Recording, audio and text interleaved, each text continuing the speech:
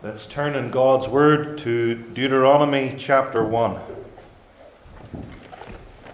Deuteronomy 1. We're going to read words here which have been quoted and preached on at the installation services many, many times in the history of the church. Deuteronomy 1, verses 1 through 18.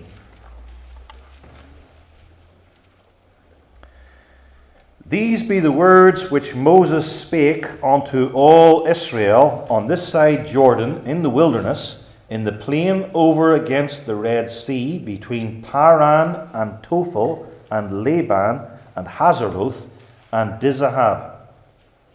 There are eleven days' journey from Horeb, by the way of Mount Seir, unto Kadesh Barnea. And it came to pass in the fortieth year, since the exodus from Egypt, in the eleventh month, on the first day of the month, that Moses spake unto the children of Israel according unto all that the Lord had given him in commandment unto them, after he had slain Sihon the king of the Amorites, which dwelt in Heshbon, and Og the king of Bashan, which dwelt at Ashtaroth in Edrei, on this side Jordan, in the land of Moab, to the east of that river, therefore, began Moses to declare this law, saying, The Lord our God spake unto us in Horeb, saying, Ye have dwelt long enough in this mount. Take, turn you, and take your journey, and go to the mount of the Amorites, and unto all the places nigh unto, in the plain, in the hills, and in the vale, and in the south, and by the seaside, to the land of the Canaanites, and unto Lebanon, unto the great river, the river Euphrates. Behold, I have set the land before you.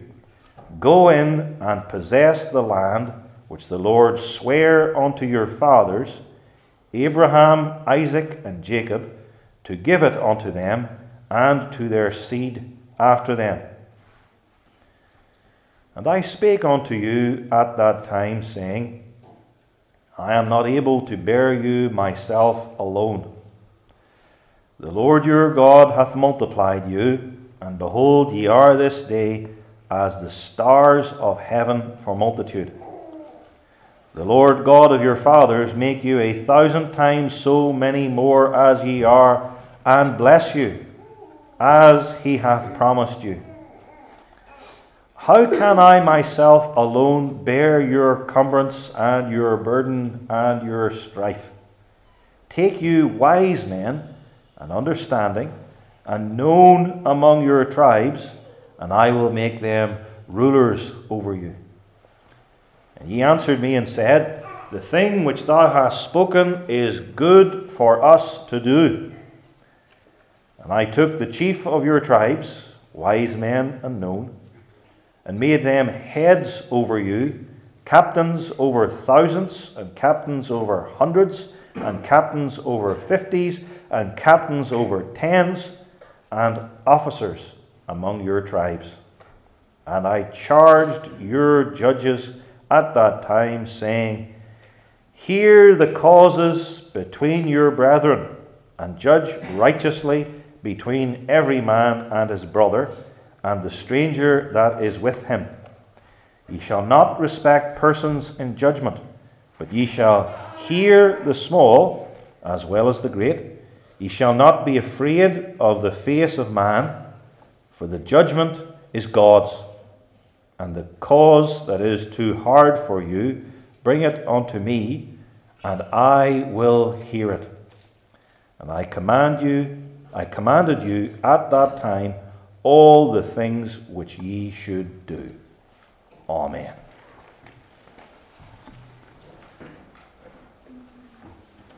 Beloved congregation, Almighty God has just reinstalled two office bearers in our midst as Elder Ivan Reed and as Deacon Julian Kennedy.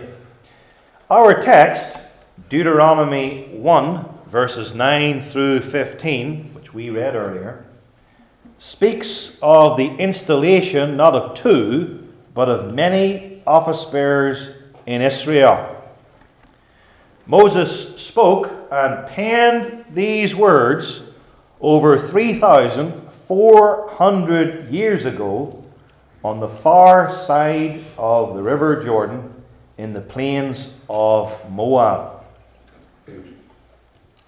He was referring to the appointment itself, which took place 40 years before near Mount Sinai, just before they reached that holy hill. And there is an awful lot here, beloved, that's instructive and challenging for us. Too much for one sermon, so it's become two sermons. That's happened before here. And the challenging part is going to be this morning, but especially this evening, which will deal with the charge that Moses gives to the rulers in verses 16 through 18. And so, as I said earlier, it is no wonder that our text has been used many times in God's Catholic or universal church in the installation of office bearers. We stand in that tradition over many centuries. As we look this morning at rulers in God's Israel. I said that deliberately because rulers in God's Israel, in the first instance, and in Deuteronomy 1, that's ancient Israel. Three and a half millennia ago, almost.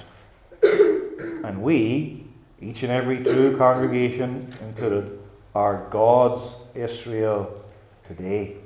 There's the connection. Rulers in God's Israel. First, the various offices, and second, the key elements. The various offices for rulers in God's Israel, and the key elements in rulers in God's Israel. As you all know, there were three main offices in Old Testament Israel. These three nouns are associated in your mind more so perhaps than any other three nouns prophets, priests, and kings. Good to get that fixed in our hearts. And under these three central offices prophets, priests, and kings all, or at the very least, almost all, of the other offices that are mentioned in the Old Testament scriptures can be subsumed. Think of the prophet. Under that, we think of the sons of the prophets, who were led by figures like Samuel and leader Elijah and Elisha. We could also include here prophetic amanuenses or penmen who wrote down what the prophets declared, like Baruch, who assisted Jeremiah, the office of prophet. Then there's the office of priest. You have at the top the high priest, then the chief priests, then the parentheses ordinary priests, and then serving the priests, and in that general field, the Levites. And moving to the third office, that of king, the kings were preceded by, and so the kings superseded the judges, all the way from the first judge, Othniel, right through the book of Judges to Eli and Samuel in 1 Samuel. The judges were sort of lesser kings who didn't govern ordinarily, at the very least, all of the 12 tribes. And then, if you think of the king, under the king were princes, and there were heads of the 12 tribes and there were judges. And the Old Testament speaks of elders. And the word ruler is used. And all of those words speak of people who served in kingly positions or exercised aspects of the kingly office at a lower grade. so to speak. Now, the offices that are spoken of in our text, five different words in our English translation are used. And if you want to look down at Deuteronomy 1, you'll see near the end of verse 13 rulers or heads. And then in verse 15, we read about heads. That same verse talks about captains.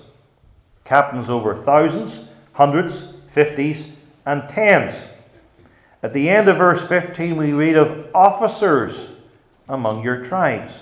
And verse 16 begins I charge your judges, rulers, heads, captains over various numbers, officers, and judges. Five English words used.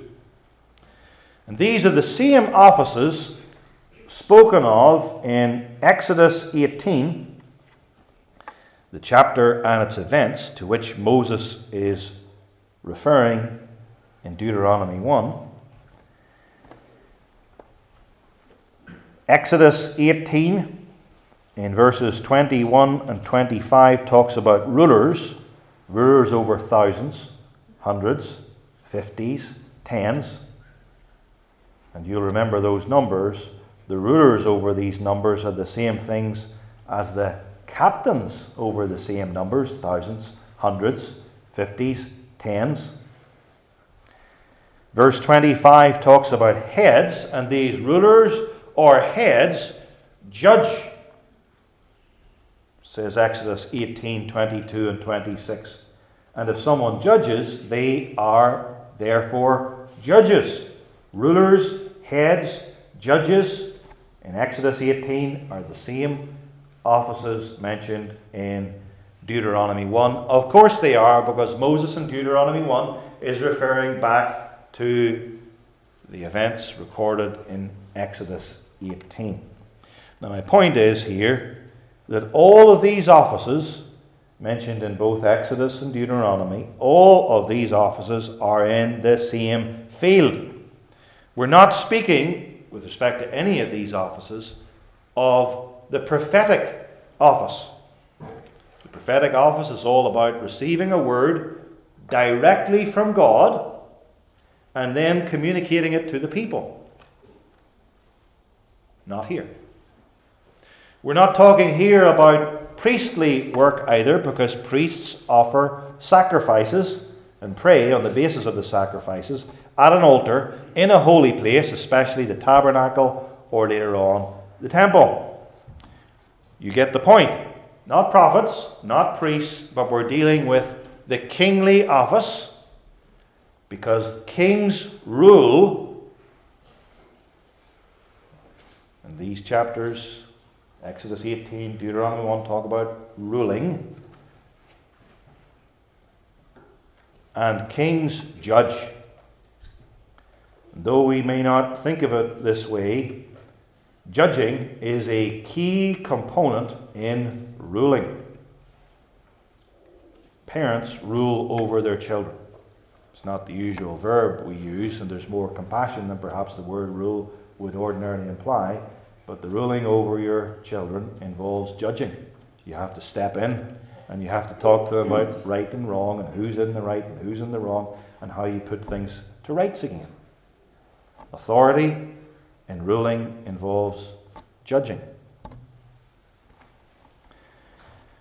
And if you think a moment about it, you'll easily understand that the king is the highest judge who judges upon a throne, a throne of judgment.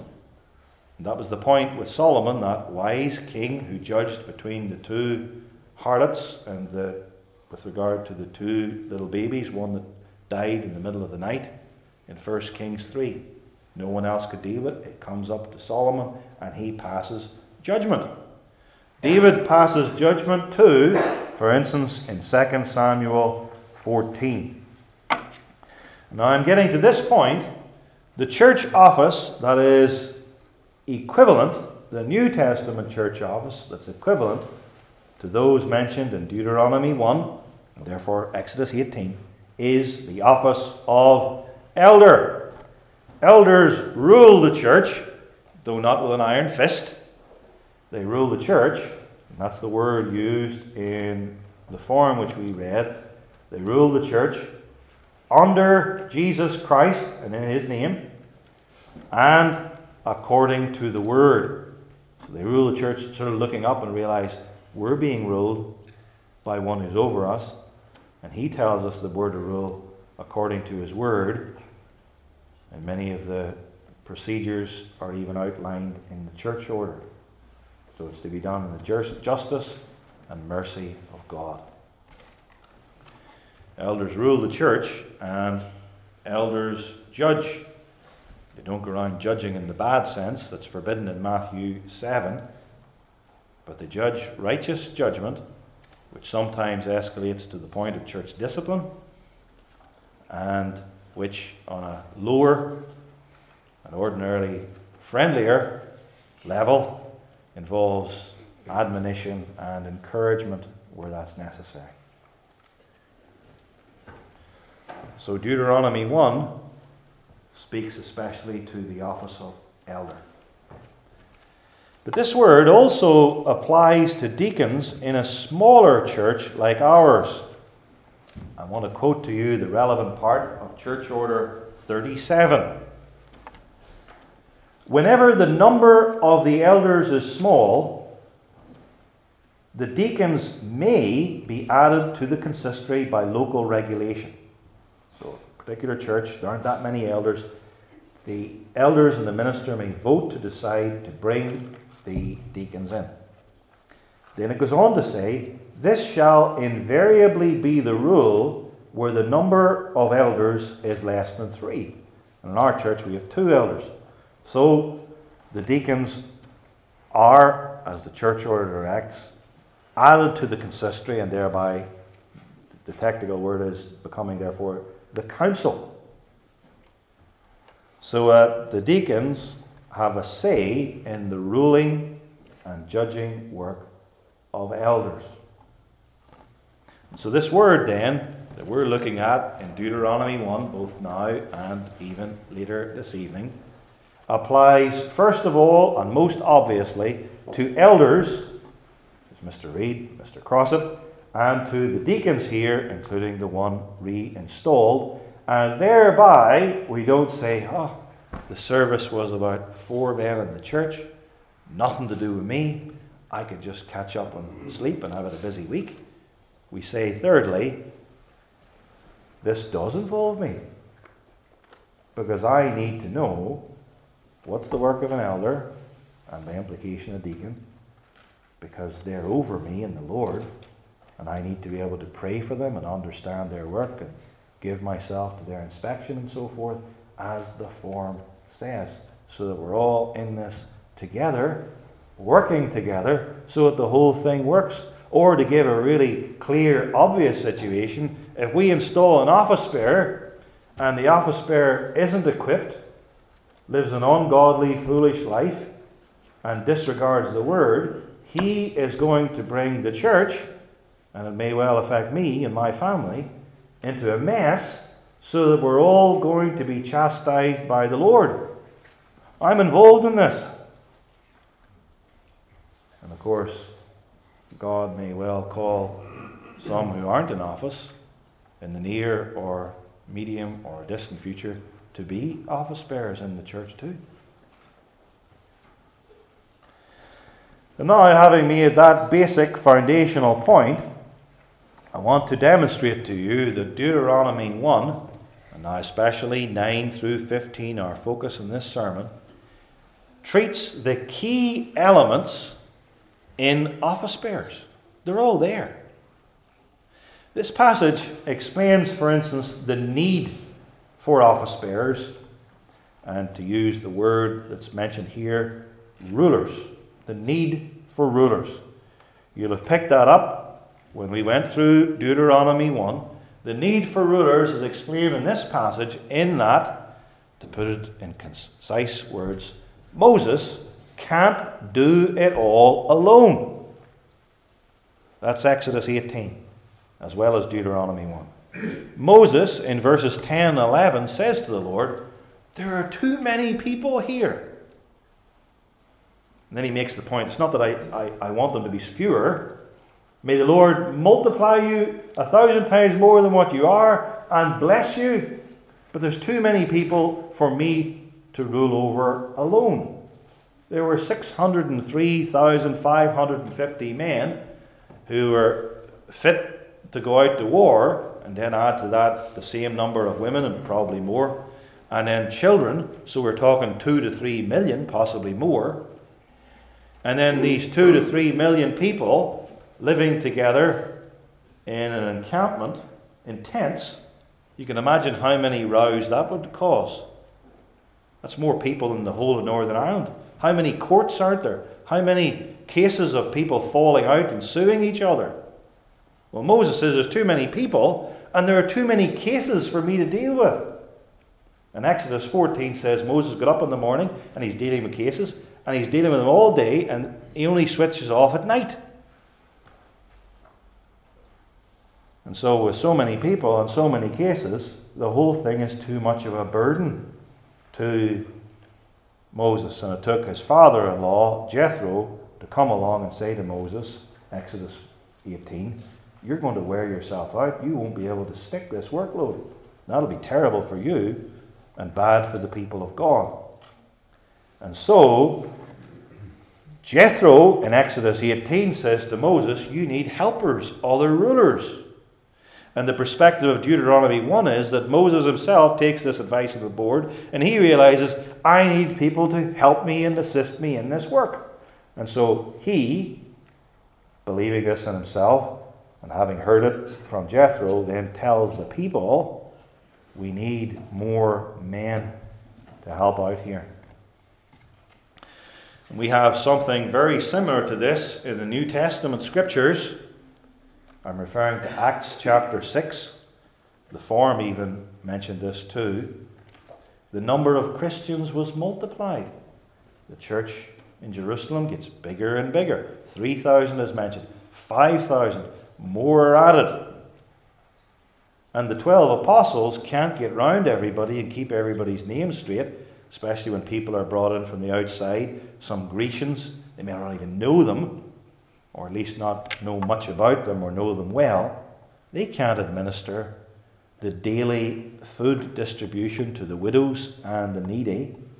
And so they propose the creation of the office of deacon. too much work. Therefore, more office bearers needed. In Deuteronomy 1, rulers and elders, and in Act 6, deacons. Now, there are various reasons for the need for office bearers and rulers. We've mentioned the one that too much work to do, so other helpers are needed. The form for the ordination of elders and deacons gives an additional reason. There are others. An additional reason why elders are needed, not only because there would be too much for the minister to do alone, but let me quote now from page 291. Moreover, it is proper that such men, elders, should be joined to the ministers of the word in the government of the church, that thereby all tyranny and lording may be kept out of the church of God, which, that is, tyranny and lording, may sooner creep in when the government is placed in the hands of one alone or of a very few. Then it goes on to say that the ministers plus the elders form a body or assembly which acts together as a council for the church. So the passage deals with the need for rulers because God doesn't give this office in Deuteronomy 1 or the office of elder today, or for that matter, the office of deacon, as some sort of a window dressing. It is needed. And the people in the church ought to understand and even feel that need. We as a church need elders. I need elders. My family needs elders. God provides it with this office and with men to fill the office. Moving from the need to rulers, we observe too that Deuteronomy 1 deals with the qualifications for rulers. Verse 13 says that these men must be, quote, known among your tribes. And this teaches us that the elders or rulers not only need to know the church, when they're in the church and have been in the church for some time, but God's people need to know them, at least to some degree. You need to know them. You need to know who they are. You need to know that they are in office. You need to know certain things about them before you can vote for or even against them. And this idea that the qualification for a ruler requires that the person be known includes a man spending time in a congregation before he is eligible for nomination or to become an office bearer. And there are some churches which have local rules on paper that stipulate that before anyone can be put on a slate for an elder or a deacon, he has to be a member of that particular congregation for a certain time a year or two years or three years or whatever it is. No matter how well qualified, to take that example, the person is, they actually need to be here so that the people know him, or the vast majority know him. He's been with us, mixing with us in the congregation, partaking of the life of the church. That's one qualification mentioned in Deuteronomy 1. He needs to be known. And then verses 13 and 15 speak of wisdom and understanding. Wisdom, a man of wisdom, and a man of understanding. So much could be said here. Wisdom refers to the ability to adapt to reality. Simple definition. Wisdom is adapting to reality. And that's why evolutionism is really foolish. It's not adapting to reality, it's living in an imaginary world. Wisdom, as adapting to reality, adapts, first of all, to the fundamental, most basic reality God. Wisdom reckons with God the Father, the Son, and the Holy Spirit. Wisdom reckons with the reality that Jesus is the Christ, the Son of the living God, who has come into the world to save sinners by his death on the cross. It's wisdom for everybody, and you certainly need an elder who's conscious God rules. Jesus Christ is Lord. And the Word, the Bible, is God's truth. I could say an awful lot more, but there's the basics for it. There's wisdom, there's adopting to reality in your life, and now especially in the church. There's a God. This is Christ's church, redeemed by his blood, and the word must rule. Wisdom and understanding.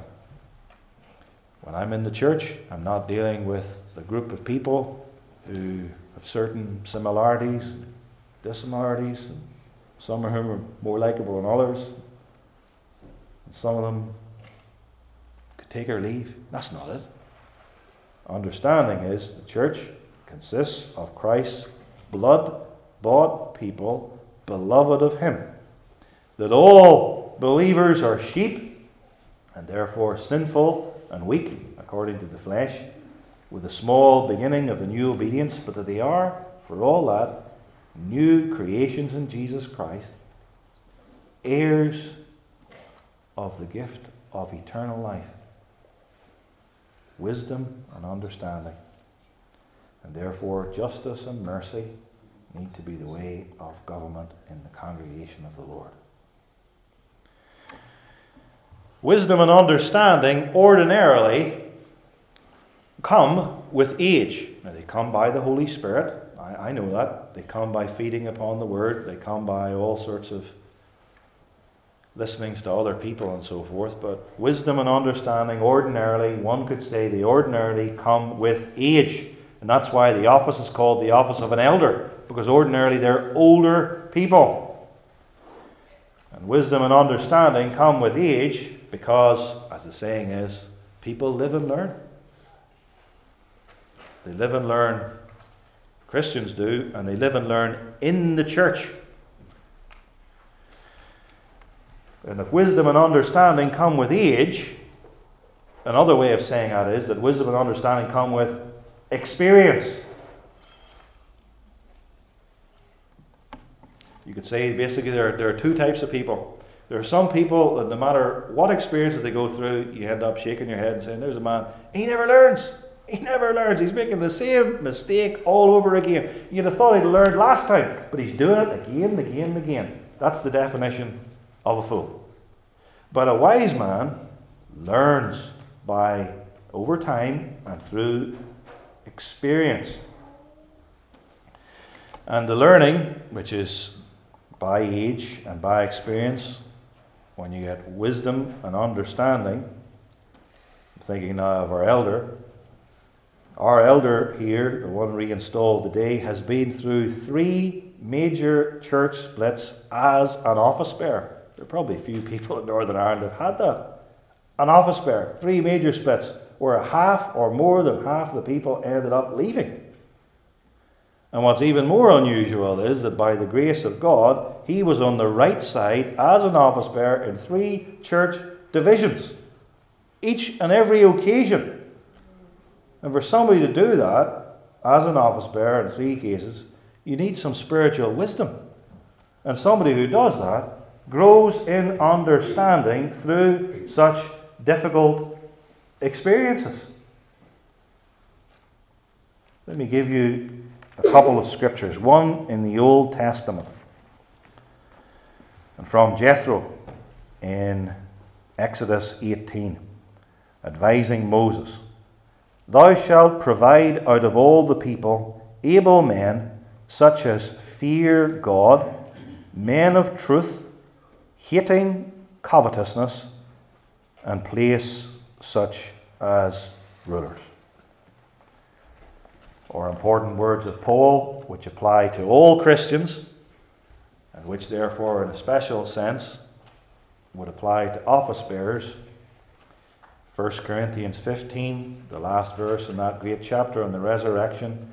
Be ye therefore steadfast, unmovable, always abounding in the work of the Lord, for as much as ye know that your labour is not in vain in the Lord. So that the Christian, and now here office bearer especially, needs to be steadfast in the grace of God. That's the way the person is. In their heart, by faith, in their inner conviction. The person is steadfast. And then it says, unmovable. And if a person is steadfast in himself, he cannot be moved. Unmovable means that forces come upon that person, some people in the congregation, some people outside the congregation, things in their life. But the person is steadfast, and though all these forces, and sometimes the intentions of other people, are such that they would want them to move, they don't move because they're steadfast. Therefore, they are unmovable. And if that's the person, they're steadfast and they can't be moved from the truth as it is in Jesus, taught in the scriptures, summed in our confessions, taught in the church, then that person is going to be always abounding in the work of the Lord because that's what the person is steadfast and unmovable. And therefore, what the person does, he always abounds in the work of the Lord.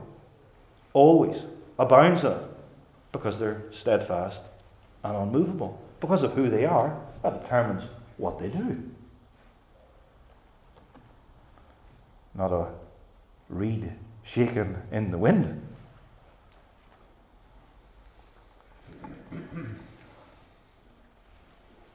the person must be known, wise, understanding, which points at age and experience.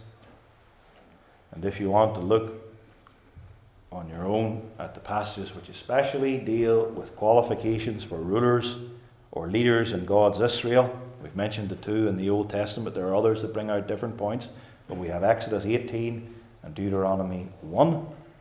And in the two in the New Testament that especially stand out are 1 Timothy 3 and Titus 1. The need for rulers, the qualification of rulers, Deuteronomy 1. And thirdly, we have the election of rulers. The election of rulers by the people of God. Look with me closely at verse 13 because you may have missed this when we first read it. That verse says, Moses addressing Israel, Take you wise men and understanding, and known among your tribes. You, the people of Israel, are to take people with these qualifications. Now, when it says take them, it means choose them, set them apart, elect them. You are to take them. And so here in Deuteronomy 1, we read of the election of office bearers, rulers, even in the Old Testament, not just in the New Testament. And we read of them here from the earliest days of the nation of Israel, because as I've said before, time and time again, Deuteronomy 1 is referring to Exodus 18. And Israel leaves Egypt in Exodus 12 or 13. So we're dealing with days and at the most weeks after the redemption from Egypt with them as a nation. And even at that early stage, the people are voting for their office bearers and rulers. And in the New Testament, the clearest instance of the vote of the members of people for office bearers in the church is in connection with the office of deacon in Acts 16, to, to which we have already referred. I'm going now, though, to quote couple of relevant verses.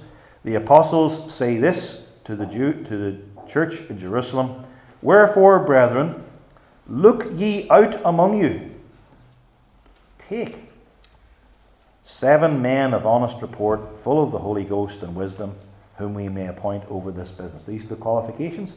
Elect such men. Verse 5 says, The saying pleased the whole multitude, and they chose, and then it gives the names of the first seven deacons. And it's interesting, too, that the method of a congregational vote, the people choosing, it pleased them in Acts 6. Deuteronomy 1, verse 14 You answered me, says Moses, and said, The thing which thou hast spoken is good for us to do. That is, in the Old and New Testament, the people said, that's an eminently worthy, sensible, good way to do it. We'll have a vote with regard to the qualifications for rulers, the ones who are going to rule over us. And this truth of the election of office bearers, pastors, elders, and deacons in the New Testament church, is a crucial element of church government. This brings us back to the Church of Rome and the issue at the Reformation? Well, here was one aspect of it. Rome, and it's the same today, the hierarchy, the hierarchy appoint the office bearers. Not the people. Why? The inner reason for this is not only, well, Rome doesn't give a hoot what Scripture says, but the inner reason for it is the church is apostate. The members don't have the Holy Spirit nor do the office bearers that matter. So there's no recognition of the believers and appointing of their own office bearers. And there's no recognition by the member, by the office bearers, that they're called of God through the church. Because the Spirit and the Word aren't there. It's a corrupt, apostate institution. But with the recovery of the gospel of grace, and you can say with the recovery of the church, that is, with believers in the pew at the Reformation, it recovered the church offices pastor, elder, deacon. Qualifications. The men need to be qualified, they need to be chosen. There's an election, and there's the office of believer, a key reformed truth.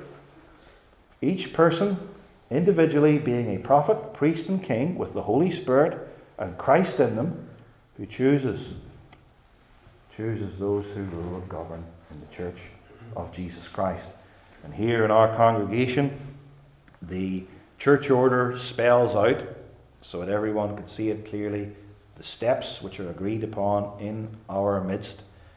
And it's taken place recently here, and things are done decently and in order. The need for rulers. We need them. The qualification of rulers. Here they are. The election of rulers. And the fourth and final thing in this connection the installation of rulers, which follows upon their election. To quote more fully verse 13 of Deuteronomy 1 Take you, there's the election, wise men, understanding and known among your tribes, there's their qualifications. You take them, you choose them, you appoint them, and I will make them rulers over you. The people says it's a good thing, and that's what they did. Verse 15 says, So I took the chief of your tribes, these wise men and known, and made them heads over you. That is, Moses ordained, appointed, and installed these men to their office. And if you think about it, Moses, the greatest ruler and glorious type of Christ in the Old Testament, Moses not only wrote the first five books of the Bible and Psalm 90, but Moses installed an awful lot of office bearers in his lifetime. He installed these rulers in Exodus 18, as we've seen, just before they got to Sinai. And then at Sinai, in Leviticus 8, he installed Aaron as the first high priest, and at the same time installed his four sons as the first four priests Nadab and Abihu, who were apostates, and though they were lawfully installed, God struck them down with fire. And then Eleazar and Ithamar. Also, in their time at Mount Sinai, Moses installed the Levites in Numbers 8, not long before they left Mount Sinai. Moses presented the Levites before God. Here they are. And interestingly, the people put their hands on the Levites, not so much now they're being installed into office, but symbolizing a transfer of the responsibility of the people with their firstborn sons who ought to have died we're transferring that over to these Levites who to serve the Lord. And then when they got to Kibroth Hattaavah in Numbers 11, Moses was involved in the appointment of 70 leaders, including Eldad and Medad. Moses gathered them together, and God came and took the Spirit that was upon Moses and gave some of it to those 70 men. And then, fifthly, Eleazar was designated the high priest at Mount Hor in Numbers 20 when Moses took the holy priestly garments off Aaron, who was just about to die, and put them on Eleazar, and later, presumably, Eleazar would have been anointed high priest with the holy anointing oil at the tabernacle. And appropriately, the sixth and last ordination performed by Moses was that of his own successor, Joshua, in Numbers 27, when Moses laid on him both hands. You will now lead Israel. Be strong and very courageous, so that you don't turn aside to the right hand or to the left hand, but follow the Lord by obeying his word. And now our two brothers here were installed and reinstalled in their respective offices and this means that God Himself has called them. And this is their confession in the very first question that was asked of them earlier. I quote In the first place, I ask you, both elders and deacons, whether you do not feel in your hearts that ye are lawfully called of God's church, and consequently of God Himself to these your respective holy offices. And that's what we in the church must see, not merely, well, there's Mr. X and there's Mr. Y, and they're, they're elders in our church. But we must see that they're men who are called by Jesus Christ and that they are clothed in their office, given authority by God, And that's faith in the Word that adds something. Not just here's a person, this is what they do, but God has given them authority for this specific task. And if you don't see that and you don't approach them that way, you won't benefit from the office of elder and you'll probably do yourself a lot of spiritual harm. We've been talking about office bearers. I want, in closing, to speak about our Lord Jesus Christ as the great office bearer of the church. Not just one congregation, but the whole church in space and time.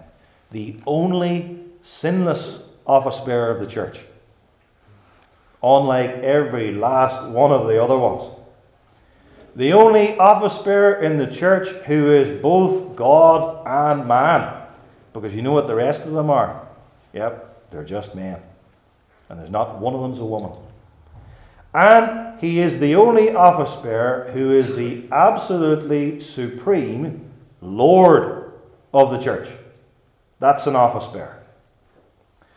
And we've gone through the stages, spelled them out. There are four mentioned in the church order and found in Deuteronomy 1 throughout Scripture. Think of the election of the supreme office bearer, a choice by Almighty God before the foundation of the world. And not a single human being had a single vote. Think of the need for such an office bearer, God's greatest prophet priest and king, our sin and misery. The curse of the law and the dominion of Satan, death, and hell. We need that office bearer. And there he was, qualified for his office, being given the Holy Spirit without measure. And guess what? The office bearers that you've seen in this church too have the Holy Spirit, but it's most definitely measured it's most definitely not without measure.